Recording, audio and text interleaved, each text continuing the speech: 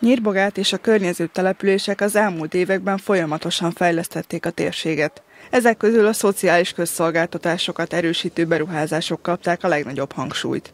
Ilyen volt a 2013 és 2015 között megvalósult gyermekesélyprogram Nyírbátorban, amely több ezer családnak nyújtott lehetőséget egy jobb élet kialakítására.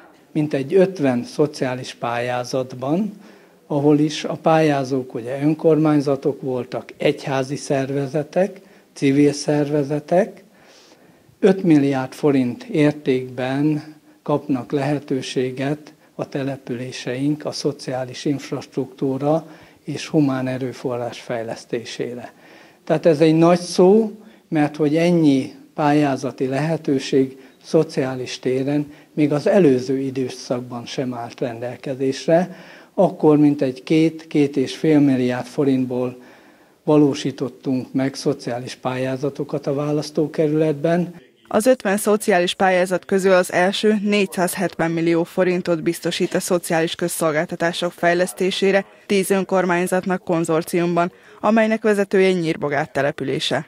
Ez egyszerre képzi a közigazgatásban dolgozókat, javítja a közigazgatás minőségét és színvonalát is. Egészségügyi fejlesztéseket is tartalmaz, hiszen így lehet a térség felzárkózását segíteni tíz önkormányzat fogott össze azért, hogy jobb közszolgáltatásokat nyújtsanak a településükön élők számára, a településen élő állampolgárok, családok és mindenki számára, aki a településen jár.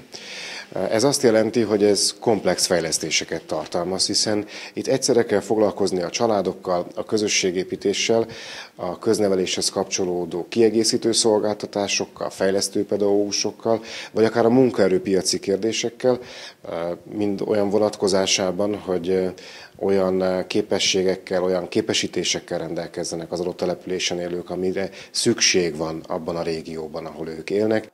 A fejlesztések egyik eleme a 2017 és 2019 szeptembere között 40 millió forintos Jó szülő leszek projekt. Célja a család társadalmi szerepének megerősítése, a családi kohézió növelése, szülésre és gyermekvállalásra való felkészítés, a krízis helyzetek kezelése, illetve kialakulásuk megelőzése. Ennek érdekében egyéni tanácsadásokat, rendezvényeket és csoportos foglalkozásokat is szerveznek.